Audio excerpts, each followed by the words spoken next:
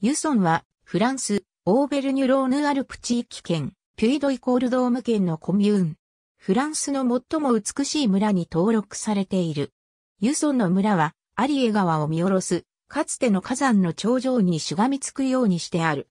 ユソン城は、最初、リシュリューの命令で取り壊されたが、それより、前の1585年から1605年まで、王妃、マルグリット・ド・バロアの幽閉場所となっていた。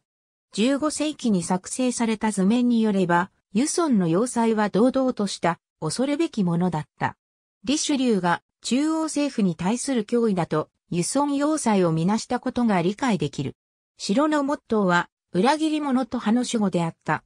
言い換えれば、このような難攻不落の要塞は、裏切り者や飢餓よりも恐ろしい別の危険をはらんでいた。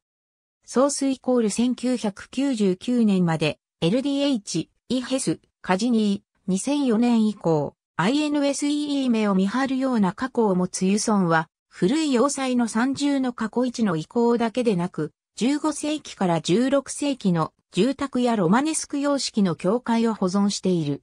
ユソンの山は標高639メートルに達する。聖母マリア像は飛行士の死後の目的で山の頂上に建てられた。